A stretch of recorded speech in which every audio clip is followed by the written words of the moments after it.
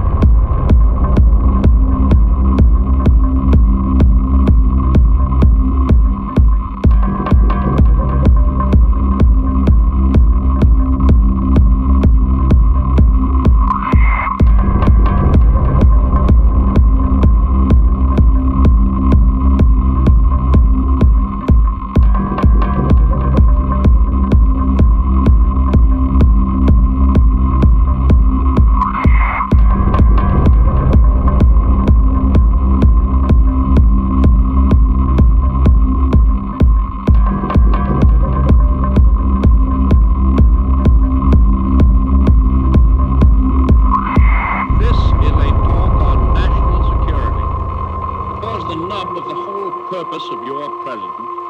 is to keep you now and your children later and your grandchildren much later out of a last ditch war for the preservation of American independence and of all the things that American independence means to you and to me and to ours. Never before since Jamestown and Plymouth Rock has our American civilization been in such danger as now. The Nazi masters of Germany have made it clear that they intend not only to dominate all life and thought in their own country, but also to enslave the whole of Europe, and then to use the resources of Europe to dominate the rest of the world.